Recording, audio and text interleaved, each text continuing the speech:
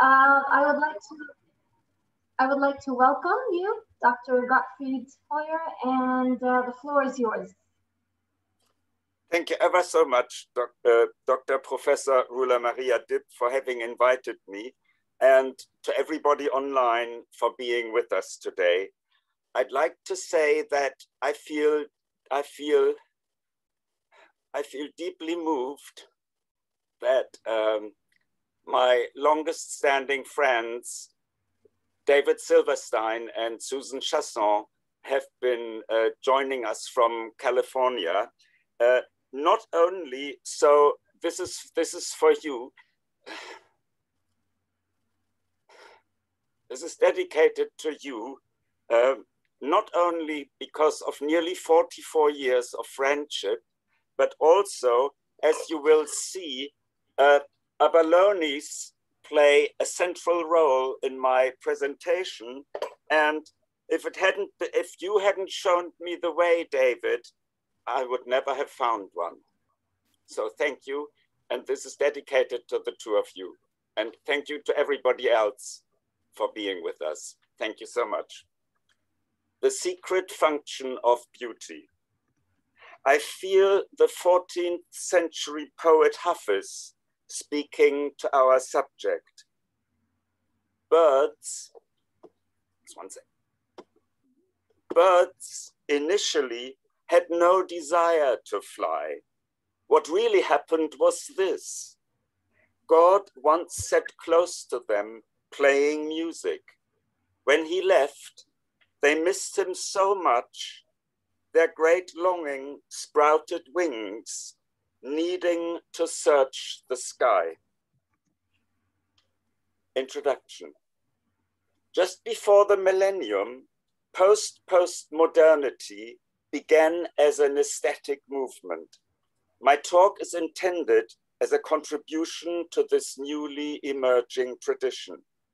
The term was coined, quote, to temper reason with faith and to witness the rebirth of utopia after its own death. Mod end of quote.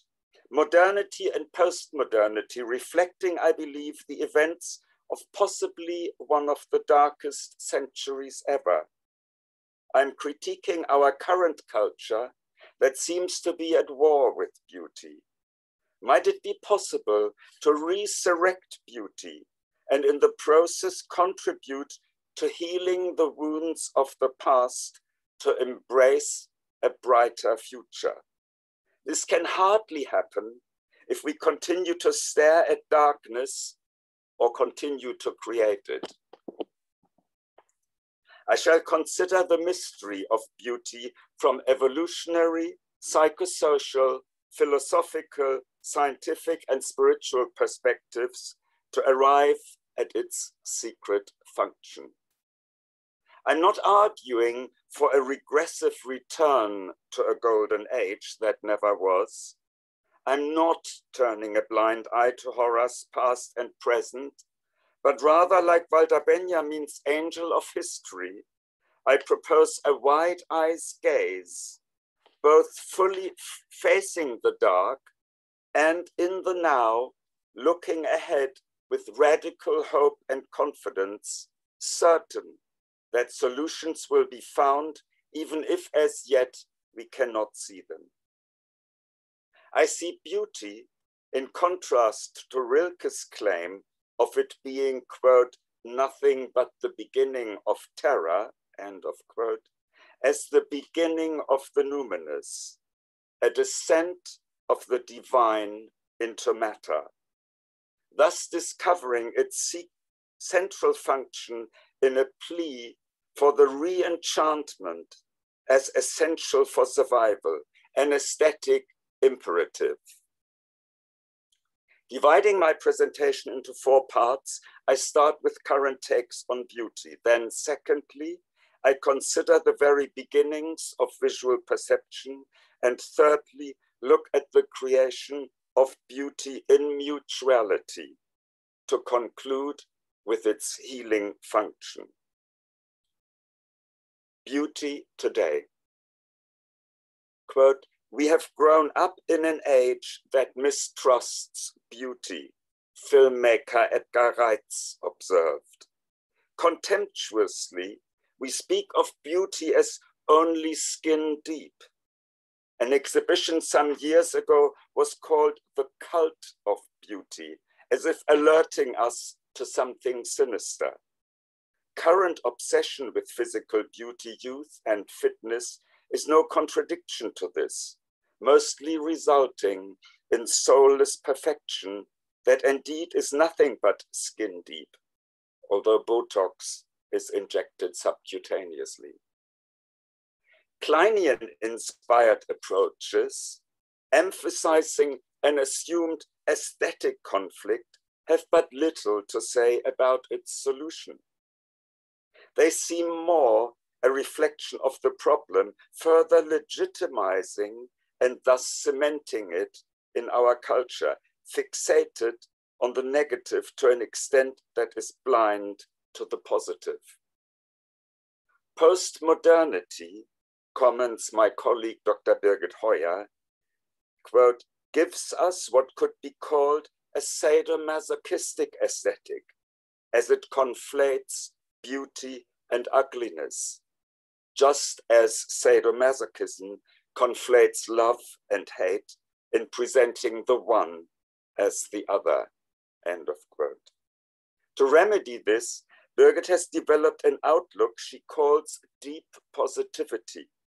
Deep positivity is a complexity argued view of the world that situates love at the heart of reality and yet retains a capacity for embracing difficulty. C.G. Jung spoke of the revolutionary aspects of art, and anonymously, the editorial of a women's magazine recently speaks of the transformative power of beauty. Is it this that, quote, shakes us up and awakens us to new experience, possibly as frightening as it is enticing, end of quote? Is that the reason for conflict, terror? Somewhat more reservedly, Freud stated, quote, the enjoyment of beauty has a peculiar, mildly intoxicating quality of feeling, end of quote.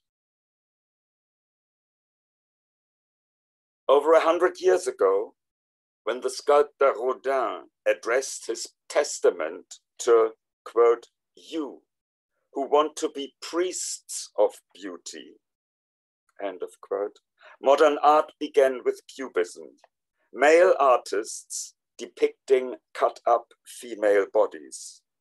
Duchamp's urinal followed before the end of the Great War, just a small step from there to David Hamilton's 2010 quote, shit and flowers, still lives with flowers and piles of feces. Art today seems a denial of love. It is a loveless culture determined to portray the human world as unlovable. And yet, throughout, beauty was tended to and attended in what I found to, what I found to be the most surprising area, the realm of theoretical physicists. Einstein felt guided by, quote, mathematical beauty. And the theoretical physicist Paul Dirac elevated this idea to, quote, the principle of mathematical beauty. And he wrote, a kind of religion to me.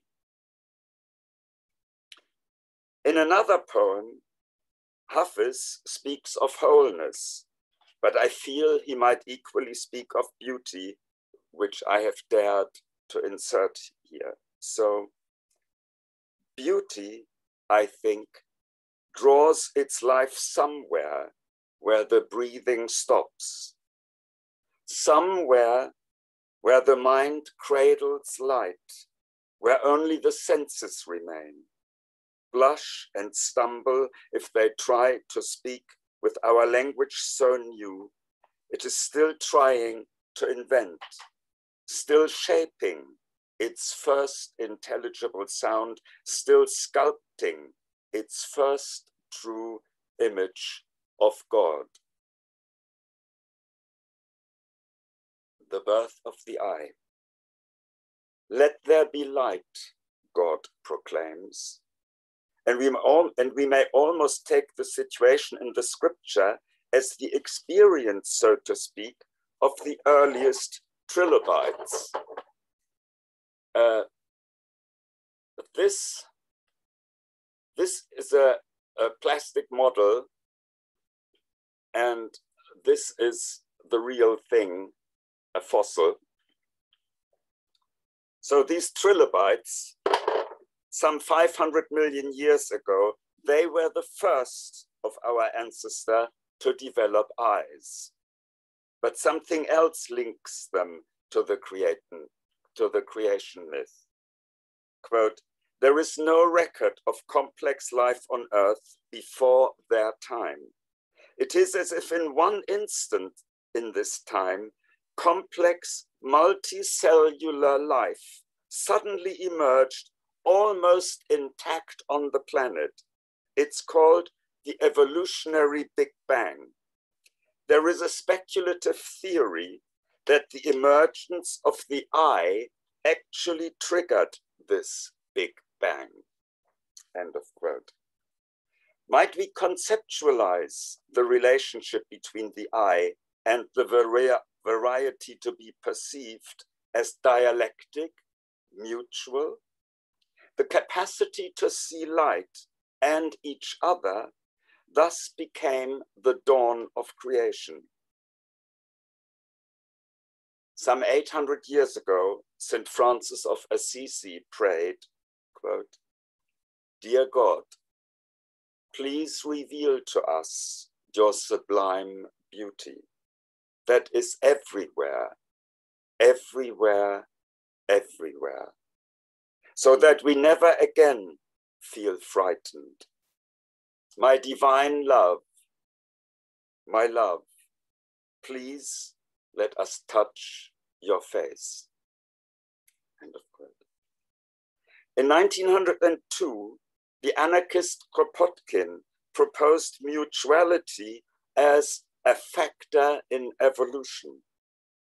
The early psychoanalyst and anarchist Otto Gross transformed this into his basic assumption of mutuality in equality, not only for his clinical encounters, but for any relationship between two people, as well as in terms of the relating to oneself. Gross spoke of the goal of every revolution, and we may also understand this as radical change, is to replace the will to power with the will to relating.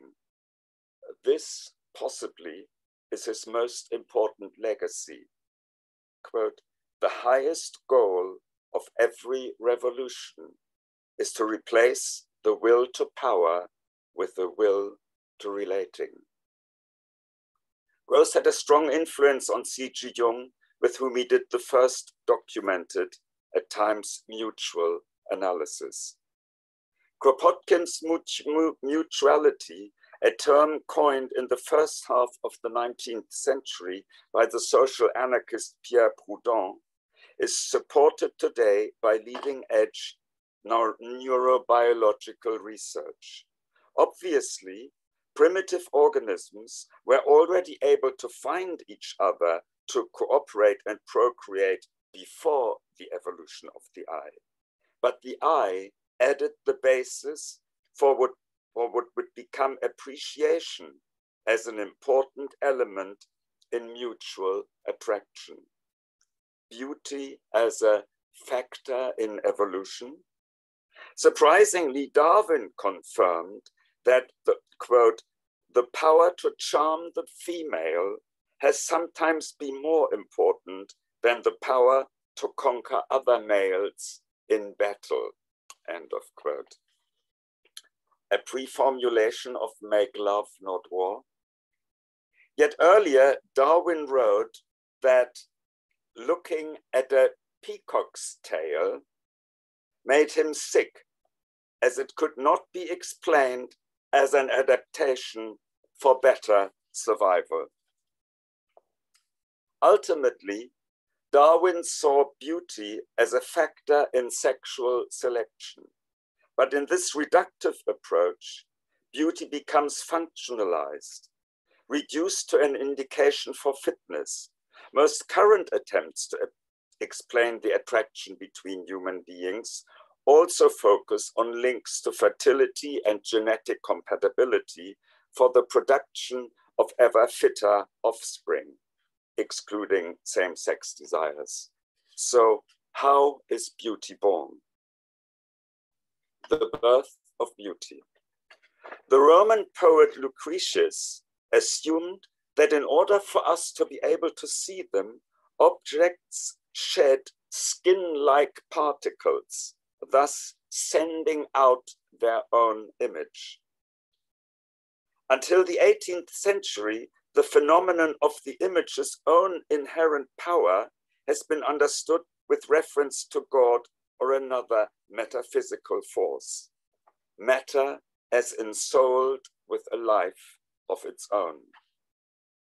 In connection with the revolutionary art of Vladimir Tatlin, a Russian commentator in 1927 spoke of, quote, the free will of the object. Lacan states, quote, we are beings who are looked at in the spectacle of the world. End of quote. Clearly, this suggests that we can go as far as assuming the aforementioned mutuality also between what we still call subject and object, actually terms of non-relating with their respective meanings of subjugation and countering. Rula Maria Dipp quotes C.G. Jung on participation mystique, quote, this is Jung, it denotes a peculiar kind of psychological connection with objects and consists in the fact that the subject cannot clearly distinguish himself from the object, but is bound to it by a direct relationship which amounts to partial identity. End of quote. Some 800 years earlier, poetically, the Sufi Rumi expressed quote, the eye has already made love with what it sees. Just like Jung, in, understand, in his understanding of the dialectical reciprocity of relating, art historian Horst Bredekamp too postulates a mutuality between seer and seen, and thus regards both as equals is the birthplace of beauty in the transitional space between the seer and the seen. The theoretical physicist John Wheeler, quote, proposed to think of participants. We are designing the universe that does not even come into being until an, an observer is produced who can perceive it. Mind and matter acting as part of the same process. End of quote. With hidden beauty, like that of bones that emerges only after death, or the patterns of wood grain that we can only see when we saw through a tree, this mysterious agency of the seen becomes ever more, ever more intriguing. Strahler in German, someone who radiates, who shines is the term for those searching for crystals in the Alps. One of them likens such a discovery to a happy birth. Quote, I became aware that this crystal has waiting 12 to 15 million years in utter darkness to be salvaged. End of quote. And not so long ago, in an underground cave in Mexico, uh, a cave was discovered crisscrossed with crystals large enough for a person to work on, to work, to walk on. This cavern has an antechamber christened the Queen's Eye because of its resemblance to an eye. Quest for hidden beauty is one of my most frequent dreams themes.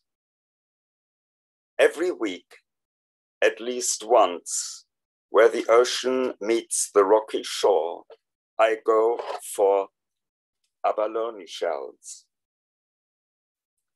As long as she's alive, nobody knows the secret of her beauty, not even she herself, I guess. The inside of her shell, where beauty reigns supreme. For me, it's the epitome of beauty, pure, sublime, is all. If I said functionally, it would not make a difference at all if the shells inside was a friendly neutral gray, monotonous and dull. Could you really prove me wrong? So why this beauty? This shell holds the colors of the rainbow in all their hues and shades, iridescent ever changing, mother of pearl divine. Is this her secret? Like God's bow in the cloud, a token of a covenant between him and me? Could this be beauty's secret, this covenant, the abalone's gift to me and you and every living creature that has eyes to see? Tell everyone this secret then. Enjoy. Just feel the pleasure as it radiates from the hidden chamber of her shell to give thanks with tears of joy. What makes the abalone so outstandingly special for me is that unlike, for example, the peacock's feather, there appears to be no discernible function whatsoever which one might ascribe to its beauty. It's pure beauty for beauty's sake.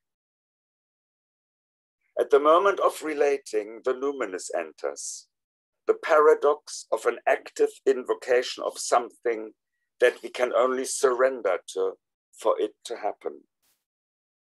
The subtle body is created between you and me, just as between that which I see and myself.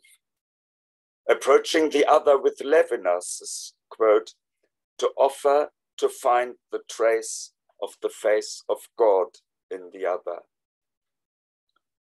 End of quote. Beauty is born in the holy, and as we recognize ourselves in the other, we become who we are. Hafiz again thus speaks to our hearts Know the true nature of your beloved. In his loving eyes, your every thought, word, and movement is always beautiful.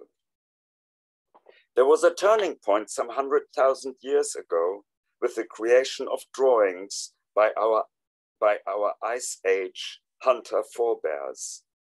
A cave studio of earliest painters was found at an ocean cliff in South Africa, dating from over 50,000 years earlier than previously assu assumed for the earliest artworks. And photos show that the paint for these had been kept in abalone shells. Another source even speaks of 165,000 years ago, also with respect to South Africa. Yet these are unimaginable numbers. This hand axe, only 11 centimeters long, found in England, is to be supposed to be 400,000 years old. And what I feel to be important is it movingly seems to show a sense of beauty. A friend of mine speculates that the embedded fossil may also well have enhanced the power of the tool for the owner. Healing beauty. Today we can measure the damaging effect negative images have on our immune system. Could the opposite be true too? Might beauty not just improve our health, but even heal? Beauty saves the world, writes Dostoevsky.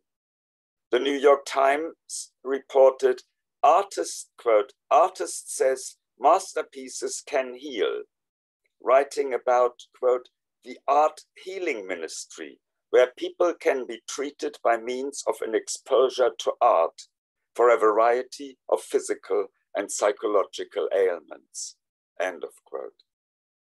Healing with or through beauty is an ancient concept surviving at the core of the North American Navajo ceremonies, where healing consists of restoring beauty, the natural state seen as part of one's identity. But in beauty I walk, with beauty before me and behind me, with beauty below and above, with beauty all around me I walk. Connecting us with the divine, beauty brings us into the here and now in an ecstasy that indeed is a standing outside of time and space, so that we experience our being as infinite in awakening to our essential immortal nature. Might this closeness of beauty with the religious be the key to its secret function? Otto Gross suggested, quote, it should be our task as psychoanalysts to heal not only the sexual complexes, but maybe even more the social and the religious ones, to help the individual to re experience the buried beauty of the world. Experiencing beauty, end of quote, experiencing beauty resembles Jung's later defining religion as, quote, the attitude peculiar to a consciousness changed by the experience of the numinosum, end of quote. Jung called, quote, the approach to the numinous the real therapy, inasmuch as you attain to the numinous experiences, you are released from the curse of pathology. In English, beauty links with beatus, happy, in Latin. Beauty the numinous healing love, can we imagine both a oneness of these four as well as simultaneously a mutual dialectic between them, where each enhances the other towards a single goal? And might epiphany, illumination, and revelation just be synonyms for ecstatic healing experiences that carry us to grow beyond ourselves? Could this then be the secret function of beauty? That it lovingly connects us both with ourselves as well as with each other and with the divine to allow the mystery of growth, life itself, healing to happen. For Khalil Gibran, quote, beauty is life when life unveils her holy face end of quote. And with moving simplicity, a hadith states, quote, God is beautiful and loves beauty. Accordingly, Rumi writes, for lovers, the only teaching is the beauty of the beloved. Conclusion. A contribution towards post postmodernity, I have explored the secret function of beauty emphasizing its revolution of the impossible of revolution. Having presented a critical reflection on our current culture crisis, cultural crisis, I've spoken about the birth of the eye and its implications, followed by reflections on perception and the birth of beauty. I have concluded by arguing for the healing function of beauty as an essential part of our fourfold dialectic unity that also includes the numinous and love. Quote, another world is not only possible, she is on her way, writes Arundhati Roy. On a quiet day, I can hear her breathing.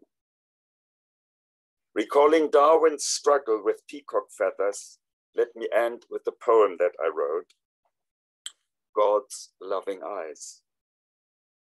Violet eyes of deepest blue, each in a pool of copper colored golden dust, and then surrounded by emerald green circles of more and ever more pure gold, gazing at me with intensity deep into my very heart. From the tips of peacock feathers, whispering to me of the untold secrets of Persia, India, and all the Orient and Asia. Sultry climates languishing under a golden, lazy sun, flooding with its amber light the whole world before it sinks beyond the orange red horizon. And now, as night begins, Venus, the brightest star, throws diamonds by the handful across the inside of the roof of the never ending tent that stretches to the pearly gates of God's unearthly paradise. It is he who sends the peacocks and the abalones too, as his holy messengers.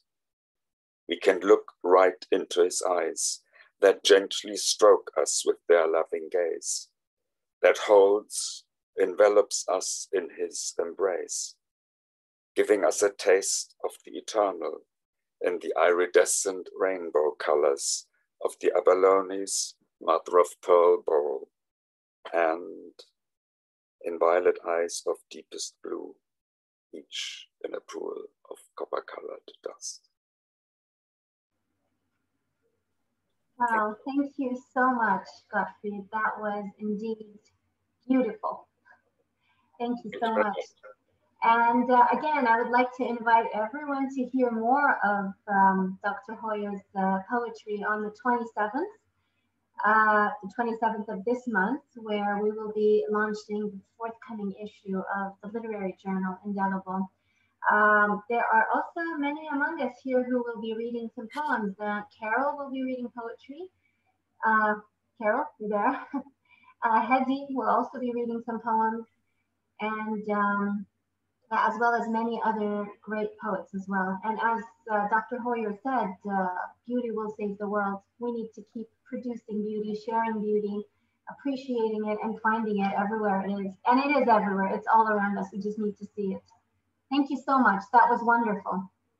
That Thank was great. Thank um, you. And uh, if you would like to use the chat box for the questions, that would be good. And you could also just um, use the mic. So, Sarah, do you see any hands raised? I can't see any from my side here.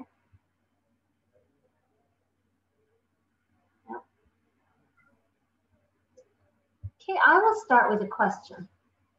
So, um, Gottfried, you mentioned here um, many people who had their theories on beauty, and among them there was Dostoevsky, there was, uh, of course, Jung, and uh, uh, St. Francis of Assisi as well. Um, you also mentioned Cubism, which, you know, the mathematical beauty and also the, the, the cutting of, of figures and bodies and all that.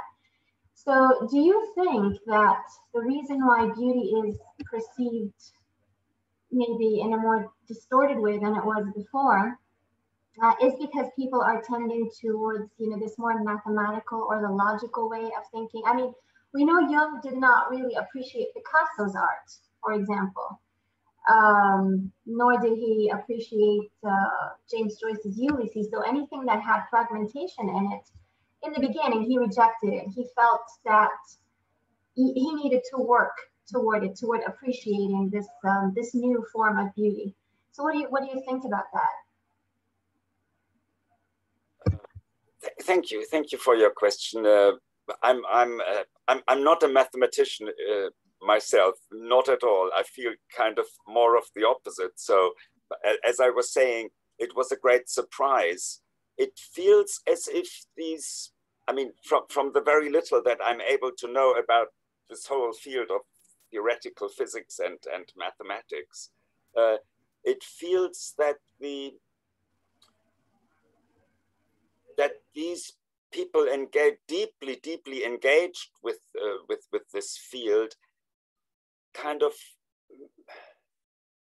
it feels as, as if they count as if they found beauty. I mean, similarly, I mean there are quotations from Einstein, uh, if it's not oversimplistically, to say that in his uh, work as a physicist, he found God, or he, he felt he met God. And in a similar sense, I think these people would have met beauty, I believe.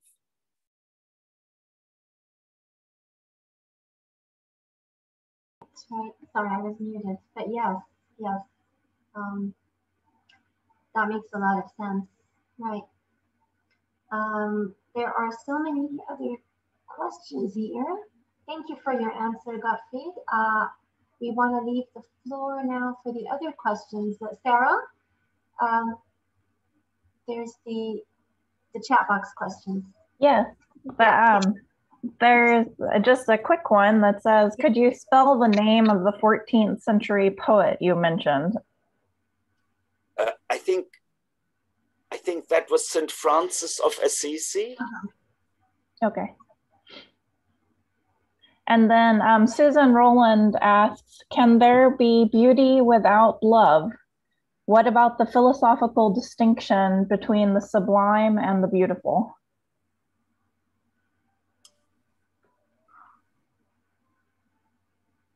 I think I think I do not make a distinction between the sublime and the beautiful. And uh, and I also believe, I mean, this is it's it's almost more a question of faith than an intellectual question. Uh, I do think that uh, I do see beauty and love to be connected indeed. Um, I think if I, well, if if if I if I think of the extremes, so to speak, of of what I would see as loveless beauty, beauty here in inverted commas, uh, like in the um, in in in social realism and in uh, the uh, national socialism in, in, in Nazi art, I do not feel that they, they have any beauty that that re, that really speaks to me. It, and I could say, in connection with with with the with the question, and thank you for the question, uh, it lacks the love. These products lack lack love, so it's uh, uh, it's more like like like an ice cold beauty that, as I say, does does does not speak to me. I, I I find it hard to believe that, that it convinces this kind of beauty.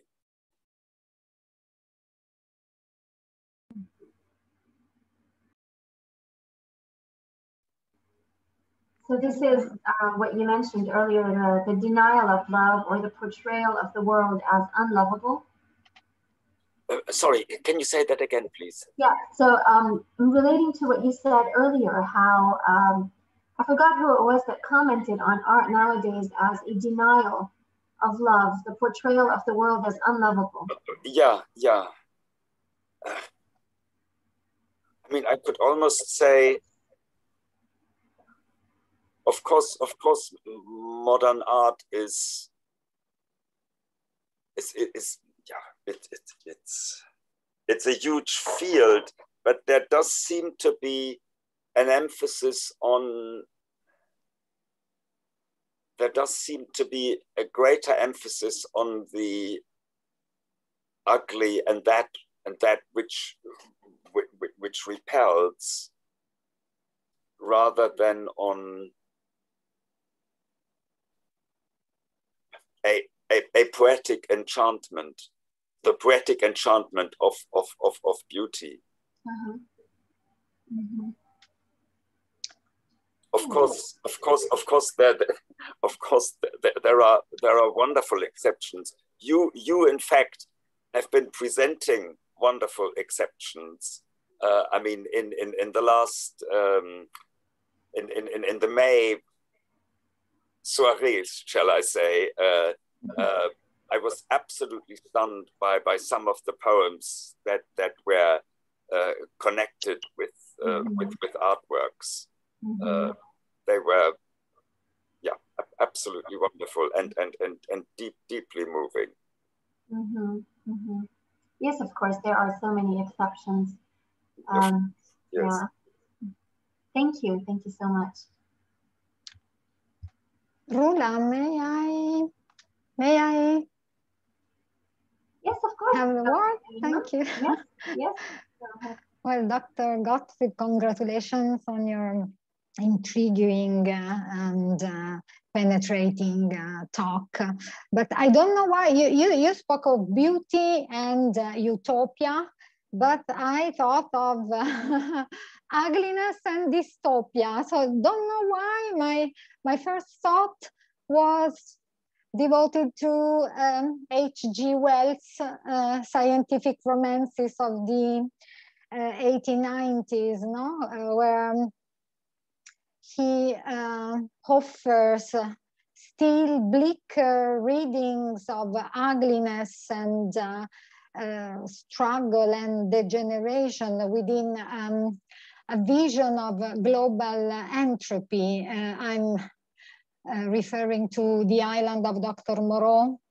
Sure, uh, yeah. Yeah. I know that. Yes. well, yes, where Moreau's surgery um, creates uh, beast men who are certainly useful um, for him, no? Because they are able to speak, think, and um, institute laws, but they are terribly ugly. They're really ugly. So uh, when Prendick, who is the um, one of the protagonists of the of this story, um, uh, meets with one of them for the first time, he exclaims, color vanished from the world. So, and so this is the, the a, a way to uh, recall uh, also um, a phrase that I take from uh, Max Weber, and uh, um, which is the disenchantment of the world, no? So Weber uh, spoke of the eclipse of um, beauty, of magical, of animistic beliefs um, about uh, nature as part of the, the more general process of um, rationalization. So, which is so as uh, a defining feature of modernity in, um, in the West. So do you think that it is to science that we have to uh, somehow um, give the, the, the fault of uh, such, disenchant, such a disenchantment?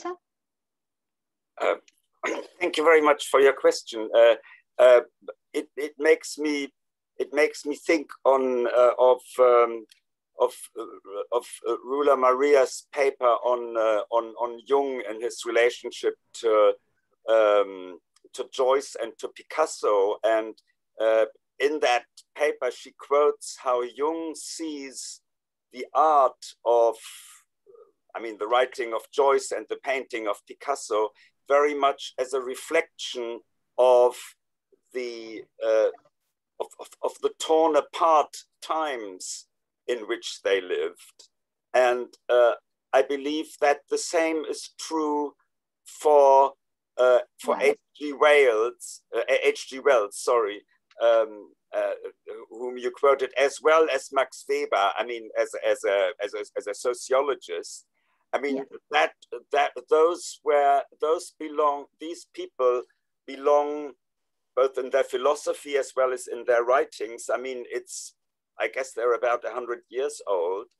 And uh, this is exa exactly as you say, they are defining parts of modernity but uh, after modernity, uh, we have post-modernity, and uh, I am suggesting, I am arguing in my paper for a post post modernity where these things uh, do, not, do not, no longer play the role, the role that they played in the past of reflecting the, uh, the terrors of the last century, which, which I did mention. So a, a rebirth of beauty, of uh, yes, yes, yes. The sacral dimension of art. Thank you. Exactly. Yes, yes, thank you very much. Thank you very much. Thank you. Thank you. Thank you, Miriam, for the question and Gottfried. Uh, we have, do we have more questions in the chat box, Sarah? We have one more that just came through from Erin. Okay. Um, the story or poem at the beginning linked longing with wing growth. Are you familiar with Plato's Phaedrus? In it, Socrates describes the soul of the lover awakening his memory by gazing on the beloved. This causes a painful regrowth of wings. I didn't know that It feels lovely. Thank you ever so much. Thank you. It feels like a, uh, well, I think if, if I if I understood you correctly, what you read, you were speaking about a painful uh, regrowth of wings.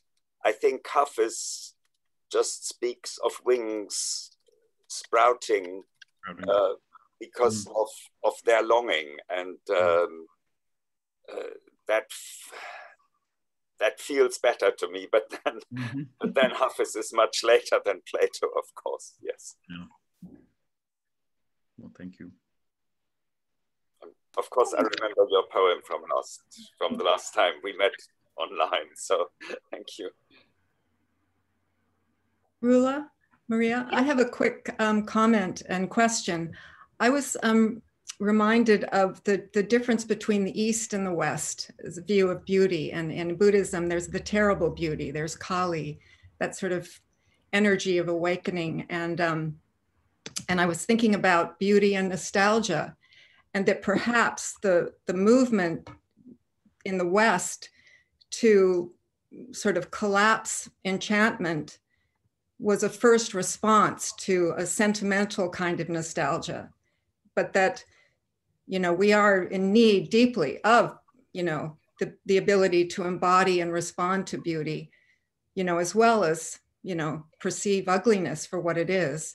And um, I guess I wondered if you could speak to the um, the idea of the differences in, in the Western, I guess, you know, we're, we're in the, the scientific revolution that Descartes introduced. We, we've that sort of um, broke broke the or you know introduced this body mind you know issue. And so this ability to deeply take in the perception of the be- of beauty in the body has has been distrusted in some way.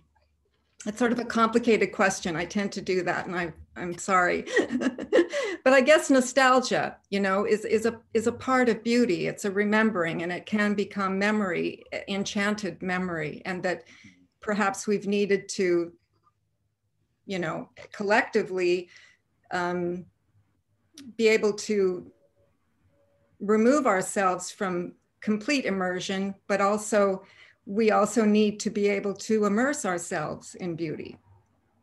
Um, I'm anyway. Sorry. uh, thank, you very much. Uh, uh, first, I'd like to say I find it I find it really interesting. I mean, I, I did I did quote uh, I did quote Rilke at the beginning, who says, mm. "Oh, beauty is, is just just the beginning of terror." And mm, that's right. And, and I, I find it interesting.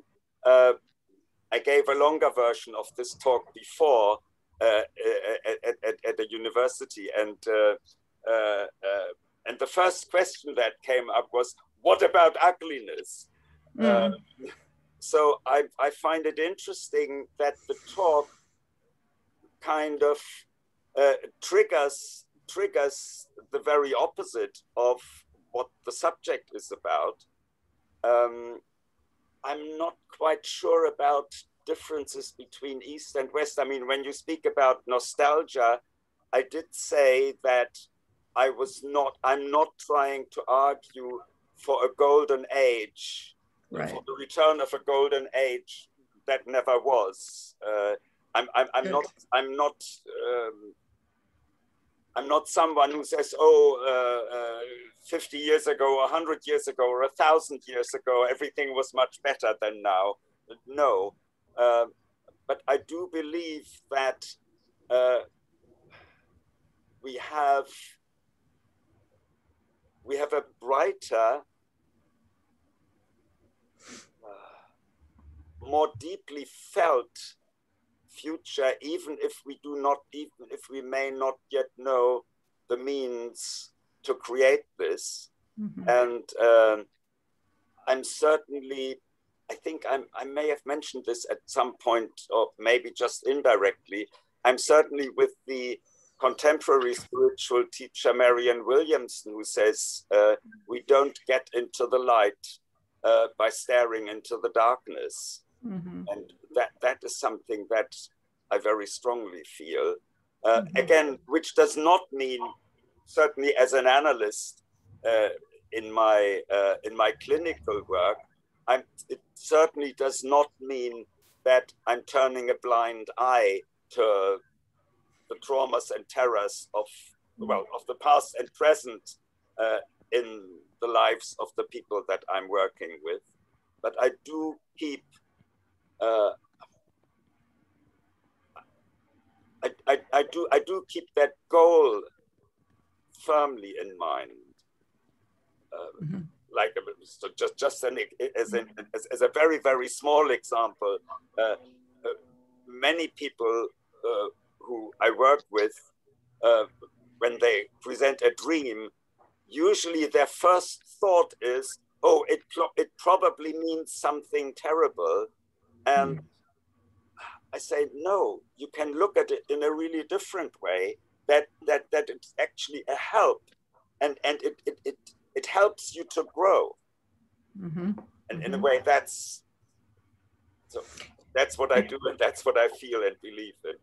And that connects to that idea of the sublime, that it, that uncanny, that something that doesn't easily fit. I think that's what you might be referring to in a way.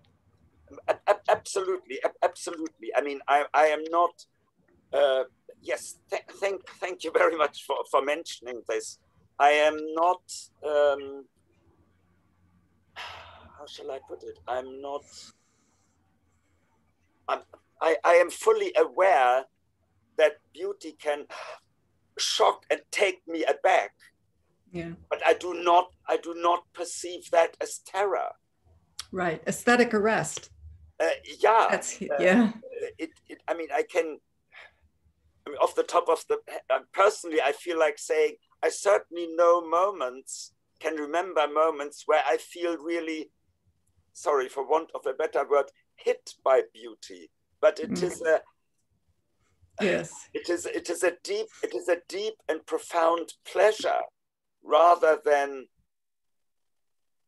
rather than a reaction to terror i mean reacting to terror is is like trying trying to keep it away from me and uh, with beauty that's different even, Mhm. even if it does take me aback arrestedness is, is, is a wonderful term in this context Thank you for your talk today. It's been wonderful. Thank you. thank you for your comments thanks Can I Thank you. say- Thank you. Could I say something? Yes. Yes, hi. Hi, Gottfried. It's Linda Mary here. lovely to see you I really enjoyed your talk very, very much. And I love the, the whole thing about beauty. I love it. However, I wanted to add um, do you know the work of Marc Quinn, the sculptor? Yes. because I went to see an exhibition of his in the Liverpool Tate and I was very moved by it because he took things that are not traditionally regarded as beautiful, such as disability, you know, people who were affected by thalidomide with missing limbs and so on. and um, uh, he made something beautiful out of what is not traditionally regarded as beautiful. And I wondered if you had any comment comment on that. I think I, I think I, I think I know his work. I, I felt moved there. There is a uh, there is a very naturalistic um, uh, sculpture of, of a man lying on his side, but it's it's he is he is uh, not not not not natural size, but everything else is natural, and I think he's it's called Father. And he is all he also is is it the same one who also has uh, um, his head uh, in, in, in, in, in form of blood in the form of blood uh, he he sculpted a baby's head out of his yeah. wife's placenta and and put that in a kind of case which has to be kept at a certain temperature, you know, to preserve yeah, it. Yeah, yeah. But that was having lost babies myself, you know, before before full term. That was so moving to me because nobody ever sees, you know, the baby that doesn't come to full term, and he gave it a sort of an existence, and it was very beautiful, actually. I can see that. Yes. Thank, thank you very much. Yes, yes. And also thank you for coming. Pleasure. I wouldn't have missed it. hey, thank you everybody for the wonderful questions and, and comments. And there still are uh, lots of comments in the chat box. Um, however, we could try to leave them for later because uh, we would like to go now for the uh, for the poetry and uh, an art series but first of all, I want to thank you so much again, Dr. Heuer, for this wonderful, wonderful presentation and for all the time that you've given everyone for the questions. Uh, unfortunately, we won't be able to take them all now, but we can leave them until the end of the, session. Uh, thank you ever so much again for having for having me. Uh, is is is it also for those for those who may have questions, is, is my email address available somewhere? Uh, yes, I will. I will post your email address yeah. now in the chat box. Yeah, yeah, okay. that, that, that yes, would be lovely. Would be so I'm, I'm, I'm, I'm happy to. Also, I mean, if we don't have time, if we don't have enough time today, tonight, this morning, whatever, uh, uh, I'm also, of course, I'm happy to respond to emails. And thank you ever so much again, Rula Maria. Thank you. Thank you. Thank you for this wonderful, wonderful talk. Thank you. So uh, next up, we will start with the poetry. We will alternate between poetry and painting. So uh, first, Professor Claude Barbre. Yes. Well, good afternoon from Chicago. Um, uh, let's see, I'll get the screen. Uh, can everyone see the poem? Yep. Okay. Uh -huh. Yeah. Uh, I'm going to read, uh, we, will read two poems. Uh, the first poem is, uh, uh, was written in the midst of the, the, the, raging pandemic last year in November. it's, it's an elegy. And the second poem is really with the opening up, it's, it's the imagination of travel uh, so I, I, paired the two together. This first poem uh, is entitled November Memoriam. Countries of the body count become our home. Alluvial death undresses in its lair. Mouse shadows bed against the early moon, and winters past that fell the elder elms now fall again in mind with every leaf. Jarred in June, the garnet cherries turn to intimations of a murrey dusk when vesper light extinguishes its lamps and seals the flame. We take our rest in rounds. North is true, but only by a star that melts like snow upon the cirrus main.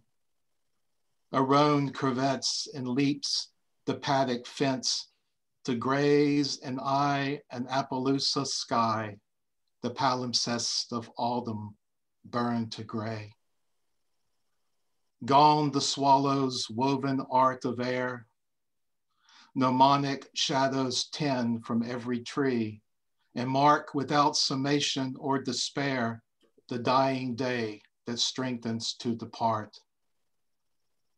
Go, the stillness says, and go by way the storms will come from rails of dragon bones that break in margins of the ancient maps. The wilds of glacial Boreas, the isles of frozen mist and spray, our spirit goes. But how to live, the stillness will not say. It lingers on the lips that lose their words and draws a single breath to speak your name. Beautiful.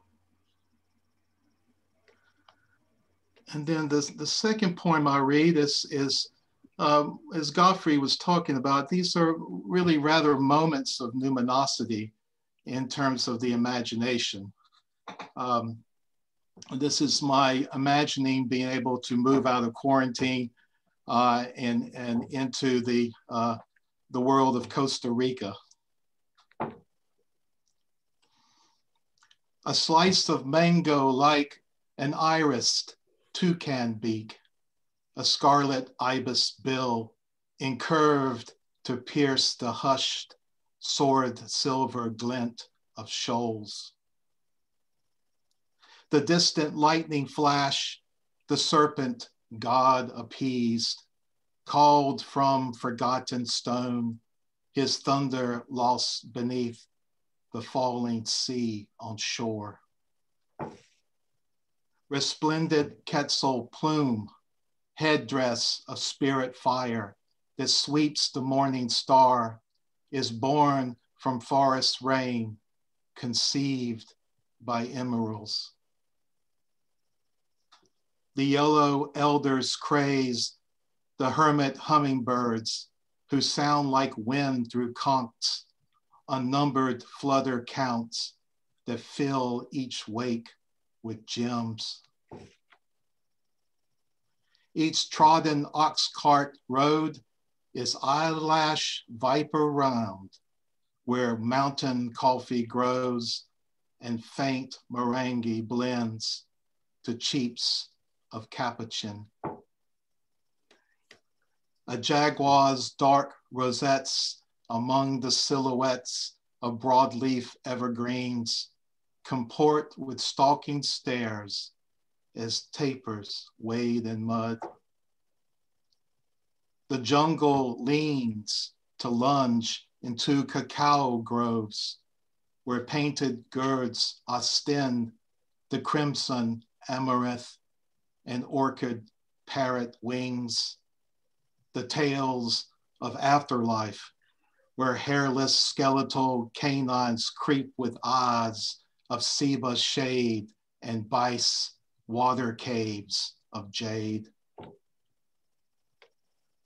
Volcanoes sleep inside magenta chili seeds as mauve camitos weep from freshened jorum brinks when chilled sangria pours. Blue morpho butterflies with topaz necklaces who sip the caiman tears, dissolve into a sky of Aztec gold and blood. The onyx curassows in cerements of palm disperse the spinal clouds that evanesce in lime and phantom canopies. All night, the howlers keen from Guanacaste boughs and bid cerise half light to ripen reaching east until the storms arrive. Thank you for the gorgeous poetry, Claude. Thank you so rich with imagery and sounds. Thank you so much. It's always a pleasure hearing your wonderful poems. Thank you. And uh, next we will move to some art with Rachael. Rachael, are you ready? All right, let me see if I can unmute you from here. Hello, everyone. Yeah, I just need to um, just select the images. Bear uh -huh. with uh-huh. me. All right, take your time.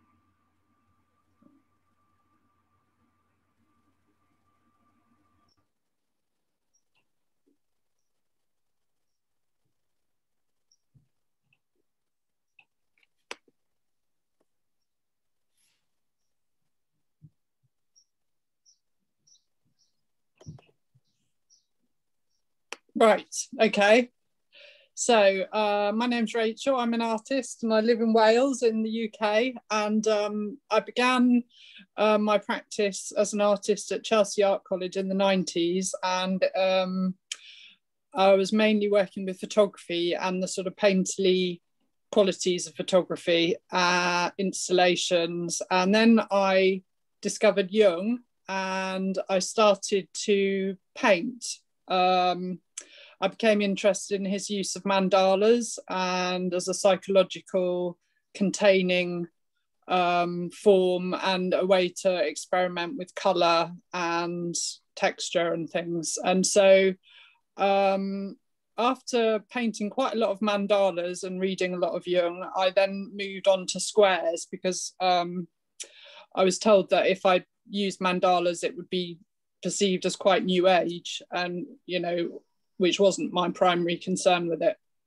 I was also quite interested in um, Christiana Morgan's painting as well, which are in archetypes in the collective unconscious and her use of uh, painting and, and Jung's narrative about her individuation.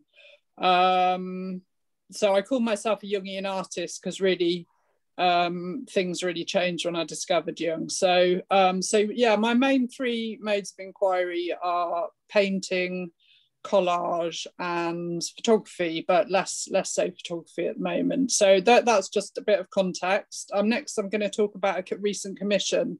Oh, actually, um, this is another uh, squares painting that I sold a couple of years ago. Um, I had an exhibition where I showed these paintings. These this is called Rain, and it's a diptych. And I was quite interested in the light reflecting qualities um, over and above the the sort of mindfulness as well was something that I was quite interested in with the painting and repetition. That's that's something I'm still working on. Um, and so these are the paintings in a in a small gallery just where I live here in Cardigan. Um, and so that that's those. And um, so the next thing was a commission that my close friend here sean asked me to to create an image um, about his land. Um, he had a house up here above the sea in a place called Cumro's Head. And he was he's he's very interested in nature and rewilding and very ecological quite different for me. I'm a londoner um, quite urban sort of person. So it was a kind of quite an alchemical kind of mixing. And um, so I went around his property and I took lots of pictures.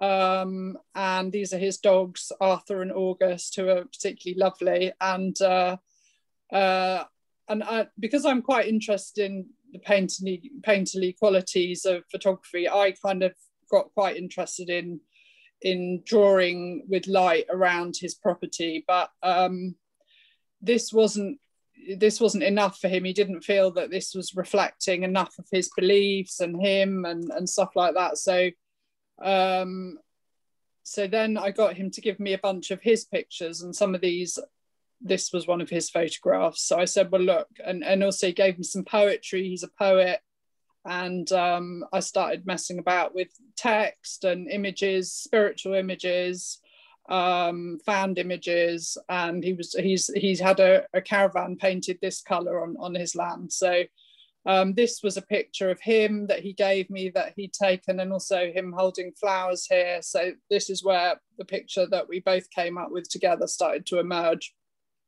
Um, and this is the final result.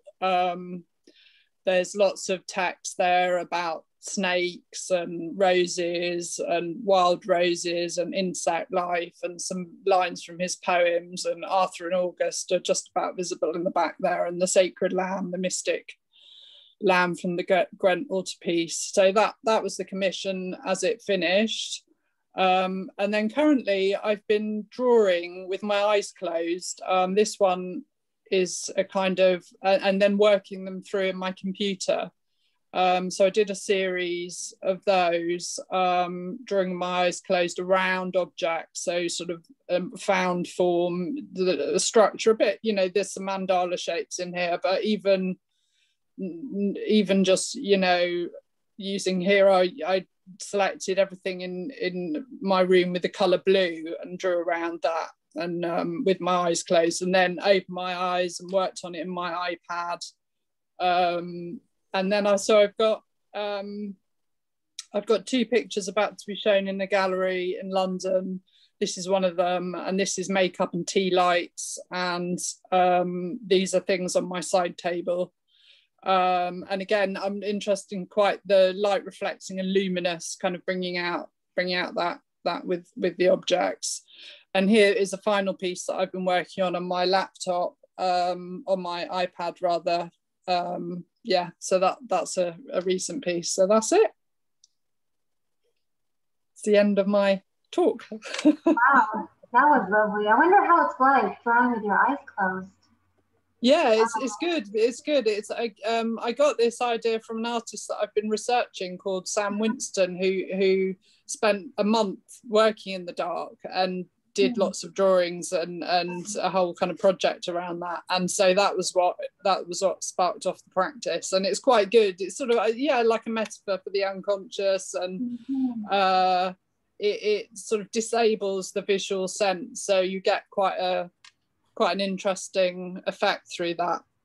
Yeah and and there's always this element of surprise that only you're surprising yourself yeah exactly exactly. And you, you get that element of surprise with photography as well and particularly the old format where you would take pictures and have them developed and you never knew quite what was going to emerge. And i think again that's another sort of metaphor for working with the unconscious and, and limiting skill in a sense as well where you're not so controlled over over the outcome of what what what you're going to produce. So you're yeah you're learning and being surprised as you work is makes it interesting Wow, thank you so much for sharing. No uh, problem. Uh, Thank, thanks for the invitation. The we'd love to see the paintings live one day. Yeah, yeah. I, I, I want to carry on with the squares actually because I, mm-hmm. I quite enjoy that process. It is quite a meditation and, and quite relaxing, you know. Oh, that's beautiful. Thank you so much, Rachael. No problem. Thanks for asking me. Thanks. And uh, Glenda, are you here? Yes, I see you, Glenda. All right, so Glenda will be sharing some poetry. Mm-hmm. Yep. And okay. Glenda, you're joining us from Ireland, right? That's right, from Dublin. Mm -hmm. um, the first one I'm going to read is about a waterfall in Spain, and it's about, for me, its beauty. The Iris Waterfall. For centuries, you have been, can you hear me okay? Mm -hmm. For yep. centuries, you have been throwing yourself down this mossy chasm into the green blue river you have carved through this valley to carry you. How long does it take a drop of water to travel from river to precipice? Your flow is free, yet caught in infinite return.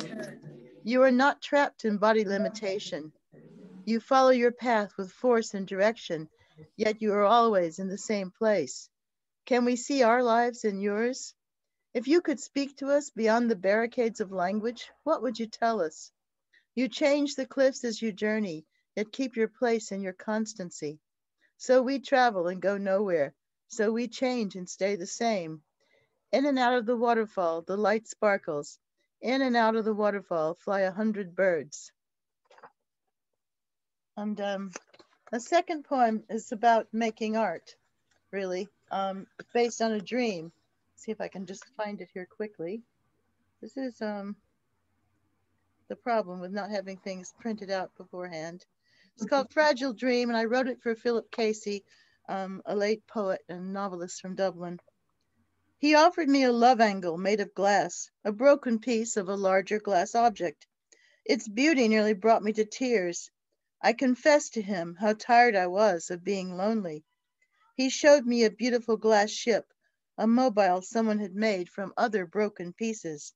I admired it all the time wondering why others could make art of all their broken pieces and I could not. And as I say, that was a dream. Um, wow. I'd like one on um, implicate orders, sort of inspired by my non-physical physicist definition understanding of um, Bohm. Reflection on implicate order. This is the life I have led, or the life that led me. Is it the life I chose, or the life that chose me? Did I exercise free will, or follow my destiny? This koan could give me dementia, but was my life there in potentia with all that has been or will exist from the second that flower was kissed by some unimaginable bee whose love set the universe free. Um, will I read another or is that? Yes, you can, of course. Okay. Um, let me find one that's maybe, yeah, I think I'll read one which to me is about not beauty. It's about Mark Rothko. It's not actually an ekphrastic poem, but it's about art. And to me. I feel that his life was sad, that he was full of angst and went in the wrong direction, but that's me. Anyway, um, I start with a quote from him. A picture lives by companionship, expanding and quickening in the eyes of the sensitive observer. It dies by the same token. It is therefore a risky and unfeeling act to send it out into the world. And the poem starts. His paintings were his children, the offspring of his mind, not his now impotent body. He wanted to keep them together like siblings. He struggled to protect them from separation, from being bought and sold in the end to the highest bidder. Once a woman visited his studio wanting a happy painting with warm colors. Rothko retorted, red, yellow, orange, aren't those the colors of an inferno? His suicide left his paintings, like his 19-year-old daughter and six-year-old son, without a father. He died as he painted, in his studio, barbiturates taken, arteries cut, white long johns, black socks, framed as he lay on the floor by red, his life blood. Meaning of it all? Purpose? There was no suicide note. Silence is so accurate. His art was not about color relationships. He wanted to express tragedy and doom. The painting was the experience. To those who think of my pictures as serene, he said he would like to say I have imprisoned the most utter violence in every inch of their surface. In 2012, Rothko's 1961 painting, Orange, Red, Yellow, was sold by Christie's in New York for 86 million, setting a new record at public auction for a post-war painting. Okay, um, will I read one more about love, maybe? Just, it's not too long. Yeah. Um, Still have until the end of the five minutes. Oh, still not there yet. Okay, good. Um, yeah, this one is called. Ah, sorry. Uh, Glenda, you may want to put the titles of your collections in the chat box. Nobody will ever find these; they're out of print. Oh, okay. But, uh, I will. Uh, I will uh, you can Google me and you'll find poems. This is called The Light from Dead Stars. And of course, it's about the loss of love and, the, and how love continues on no matter what. Last night, I lay on my side of the bed, your side of the bed, empty and cold, while the open fire sent shards of light across the ceiling sky, like distant galaxies of shining dust. And the iridescent stars you hung for me when you loved me glowed all night. I felt myself drifting, drifting away from the stars to the outer reaches of the universe, through the impossible vastness of space, to the edges of entropy, slowly spinning in vertiginous freefall, without you, forever. Guided only by the ever-dimming light of your once bright love, shining for me still, like a dead star in the darkness. And um, maybe one other short poem about loss. This is the hard part. This is the hard part. Lying here, the empty house in the dark, listening in spite of myself for your footstep on the stair. My head says you will not come. My heart hears you everywhere, catches each time the wind thumps the plastic on the window we didn't repair. Time turns hope to despair. No arms around me. Cold night surrounds me. No love to ground me. I drown in air.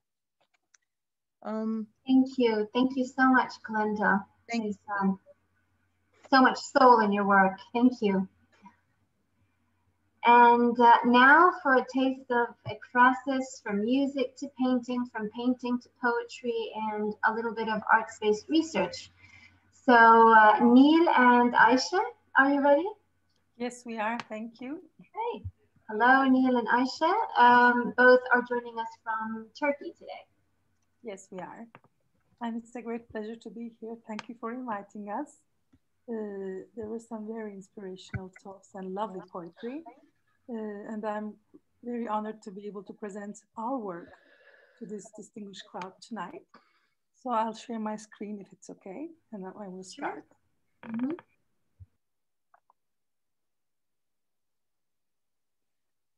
So the title of our presentation tonight is Transformation of Music into a Painting and Poems by a Poetic and Artographic Inquiry. And my co-author and the artist who inspired me is Ayşe Güler. Uh, and I'm glad to be sharing our work tonight with you all. Uh, art-based research, as you all know, has been uh, popular and it's starting to spread out uh, and is being used for deriving artistic data and then using in research. And I, as a academician and researcher, am uh, involved in poetic inquiry and I use it as a way of knowing through poetic language and devices, metaphor, lyric, rhythm, and all of the poetic devices that we use. So uh, these representations can provide the researcher and uh, the observer with a different perspective. And with this perspective, we look at the same scenery with a different uh, sense, with a different understanding, with the intuition, if you will. So uh, let me share with you how our uh, study actually started out. I went to visit Ayşe uh, at her university and uh, she's an instructor of fine arts. And I had the pleasure of attending her atelier practices and lessons. So I met the artist and I observed her while she was teaching her students and also performing to music. So I was inspired from an artwork uh, and the artwork itself was inspired from music. So it was kind of like a catalyst and we were uh, you know, getting inspiration from music and from painting. And then the result was poems, poetry. Uh, and uh, these, of course, resulted in my inquiring into the paintings she made with the use of my poems, which came spontaneously. Uh, and uh, they were the means of deriving data and getting more introspective into her paintings so as she was painting, guided by the music, I shall be sharing the videos shortly with you. Uh, she began to interpret the figures and the colors. And then of course, uh, as you can see, this is her painting in class. Uh, and you can see how she's enraptured with what she's doing. Her soul is there. And the, pre the previous presenter uh, was talking about how the artist was not there anymore and the artwork itself was present. This is exactly uh, a live presentation of what she was referring to with uh, the poetry uh, that she read also. Uh, and so you can see that uh, this is a seven meter long paper and she has been painting on it. Uh, so let me share with you the videos and the music.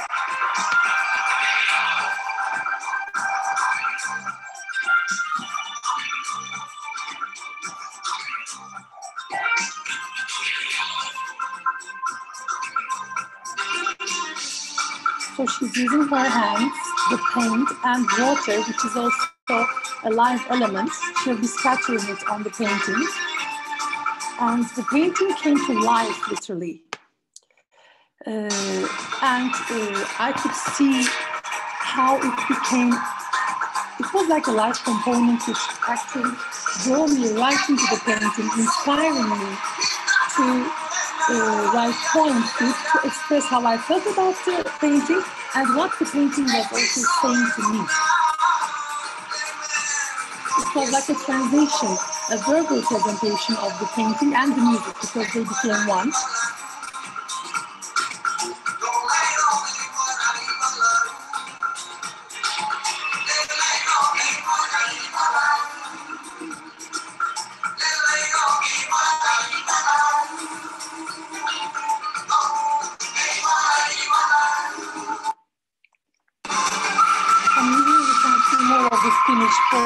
She's scattering water, how every her whole body is involved in it. The feet, the arms, everything, the hands, the paint. She became one with all the materials and everything else that she's using. The music is obviously guiding her. And this was a sublime piece of work because it was extremely inspiring for me. This is how you can use artist research and poetry inquiry to actually produce uh, an academic research paper uh, from such artwork. So it's kind of like a two-way process. I shall be reading to you my poems momentarily. Wait, so yeah.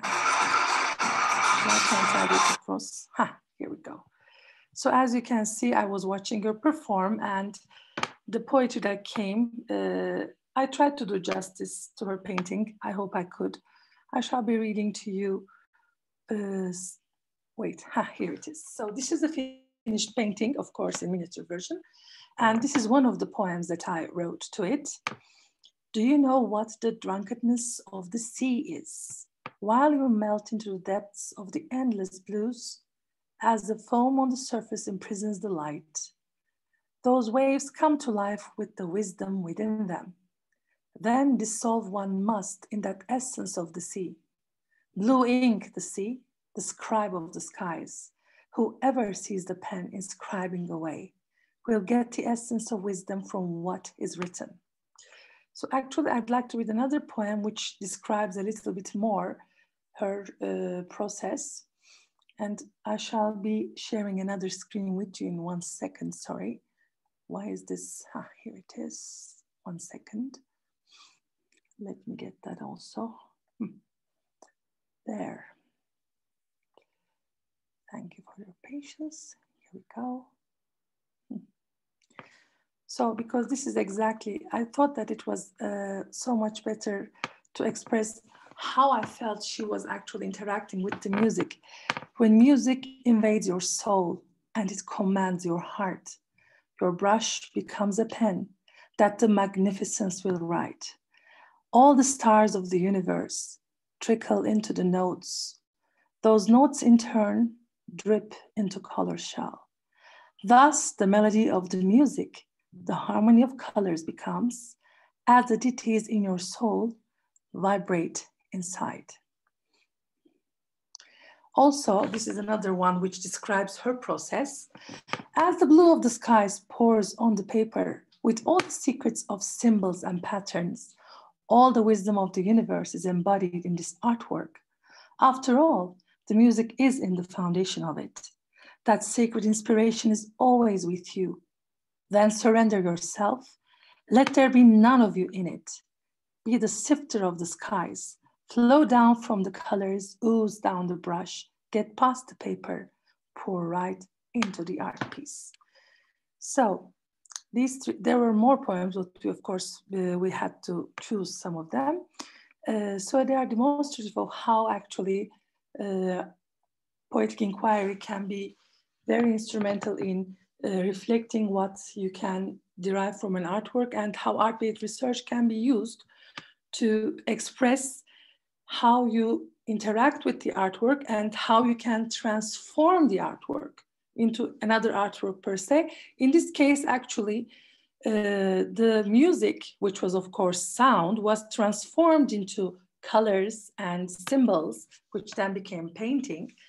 And then I was inspired to verbalize what the painting was saying. And then, of course, another translation, if you will, occurred. And uh, the painting started to speak through my pen. So it was like a three way process. And I wanted to share this with you. Uh, Ayşe, would you like to say something about your work? Yes, uh, you are an amazing poet, you know, uh, and uh, I love your poems uh, very much. It's a, a, very amazing experience for me. I am um, painting music uh, for 10 years. I started with George Gershwin, but not, I am not only listen and painted. I want to uh, embody the music sound to use my body and my soul because sound is very abstract and I'm a painter and it's very uh, not abstract. It's on your in front of you on paper on surface it's very difficult to transform it. Um, but it's an amazing experience. Thank you uh, for your listening. Thank you. Thank you so much. I mean this is gorgeous and it's amazing i mean you just demonstrated how inspiration is the best teacher hence arts-based research. So thank you so much for sharing, Nil and Ayşe. Um, next, uh, we have Carole. Carole? Hello, yes, thank you, Rula. I'll just uh, share my screen and I have two poems. Uh, they're not too long, uh, should take around about five minutes or a little, little more possibly.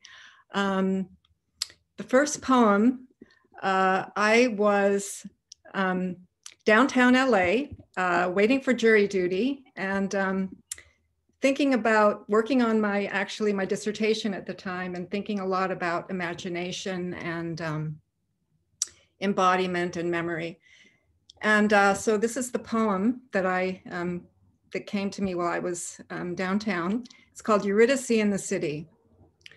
Above a square green patch of grass stands a gridded modern monolith, housing laws, the spectrum of data, designed to free the innocent or to capture those who gird themselves against any rule, those who breach the order of design. Pigeons walk the gray path that lines the living center place where plantings mark this ancient land. People also walk and linger here, crisscrossing the space between the blocks of buildings.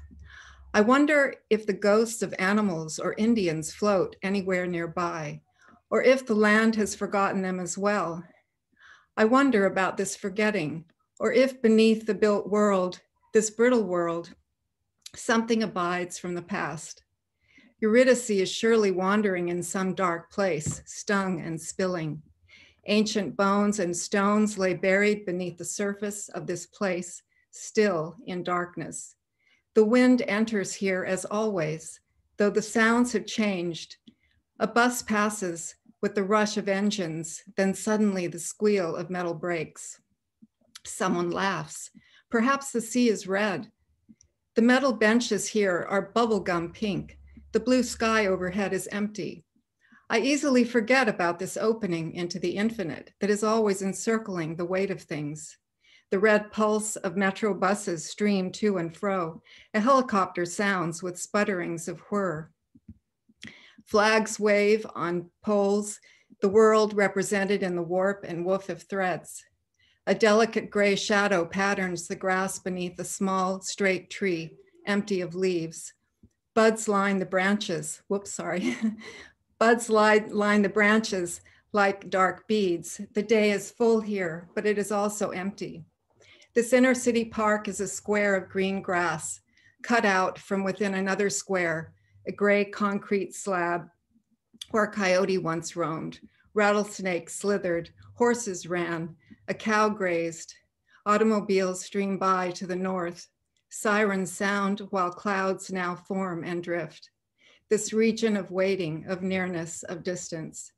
I'm listening for Orpheus here and wonder when I see someone lift their arm in a wave to a stranger, if Eurydice is also now listening to this red sea of sound and change. Like an ambient scent, the square is filled with movement, with my meditation. Voices undying and tender. Someone whispered to me, are here. The late hour might be an eternal noon. The sweetness of the willow branch is thankfully remembered. Each small black window is a pool of shimmering onyx. This place is an exploding quarrel of gray tangle, and also perhaps a most hidden Pierian spring. And um, I've got a couple of snippets from uh, Heidegger and uh, Rilke there, so it's got some intertextual elements. And then the other poem is also intertextual and it's very short. It's called Still Life. I'm, I get so nervous reading anyway. Um, it is time for the cutting to slowly start to heal, she said, as the changing light casts shadows here forlorn and long, giving the green heath where sunflowers bloom bright, patience that is also quiet, resting in innocence, resting within Tanta Mansidão, a gentle aimlessness that is at once never aimless. It is a lighter way to exist that is also like listening, that is like Morandi's vessels huddled together as if underwater, submerged, liquid infused with memory, giving heart to sight. I am attention, I am body looking out the window, she said, while the unworldly, the celestial, the airborne, the burning always is, always passes, as I collect happiness with mimosa. Its flower, leaf, bark, seed, roots, its sound, scenting this place of stillness and life, where the cutting time makes way for this place of breath. And uh, this one drew from uh, Assay Bergs with dear um, Clarice Lispector, Les, Les, sorry, Tanta Mansidão, and from Helene Cixous. So that's all. Yeah. Wow. Gorgeous as always, uh, Carole. Thank you so much. For Thanks for the opportunity beautiful, to read. Beautiful poetry. Thank you. Thank you. And now, uh, Aaron. Aaron, you there? Hello, yes. Yeah, there you are. Okay, hi. So Aaron will be sharing a couple of poems with us tonight as well. Aaron, the floor is yours. Thank you. Yes, I have um, two poems and an image. Um, mm -hmm. Okay. Um, I, I, wanted to acknowledge um, those who were killed five years ago at the Pulse nightclub in Orlando, Florida.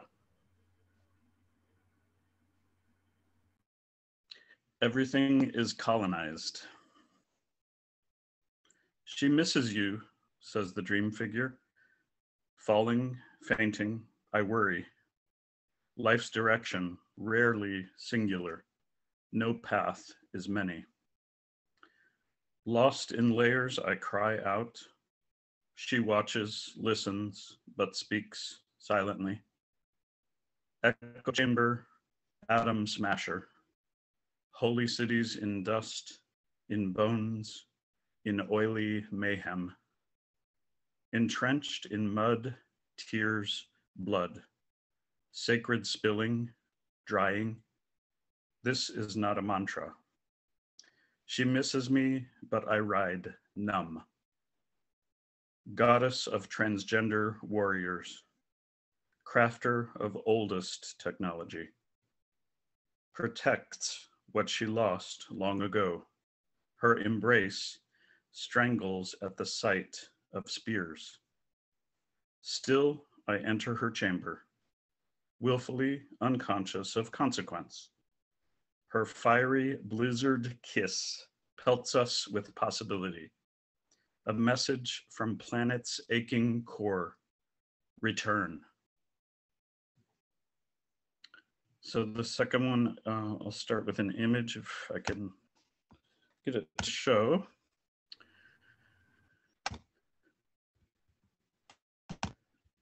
Uh, can everyone see that? Uh, yeah. Okay, so this is uh, George Harris, uh, who, after that first photo on the top was taken, moved to San Francisco, uh, took quite a bit of LSD, uh, renamed themselves Hibiscus, and co-founded a theater company called the Cockettes. Um, so the second poem is for them. Um, it's a bit longer. This is called For Hibiscus and Daisy. Hundreds of years before Persephone was born of people's tongues and minds, she was underworld queen, Inanna. Sister to Gilgamesh, Gil and Enkidu, my queer fantasy. Inanna, you fertilized in my whole grad school cohort images of threatening storm clouds, dark. Yet abundant crops are unimaginable without the rain, sky bleeding into soil. You called upon your brother, the God King, to evict Lilith from the Huluppu tree. I thought a goddess needs tools to build her home among branches and bark. Lilith became my proto lesbian, fashioning the phallus with smooth lines, the peg that allowed holy her to penetrate Adam. This is how Great Mother got inside. Inside every living phallus is a tube, a channel for half sets of DNA. This is why, Inanna, when you came to me, I saw an ancient war cannon covered in moss. In my Fem First universe, Adam only came first because men wrote him that way. We queenly others have always been here. We did not need the pen or, or record keeping. We wove ourselves into ears and hearts through song, fireside story, chanting the names of all who came before. Motherhood is primal, of eternals. Patriarchy was planned. Take me back, goddess. Drag me through sorcery strewn reeds. Pluck my strings so I vibrate your message. Honor her. And I say always, praise thee, Inanna the rain song of all sleepy seeds, the moss inside my cannon.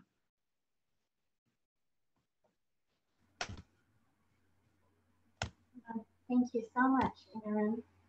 We still have another poem, right? Uh, oops. I lost you all. Oh, I gotta stop. There we go. Yeah. Uh, the, just those two. Thank you so much. That was marvelous. Thank Thanks. you. Thank you.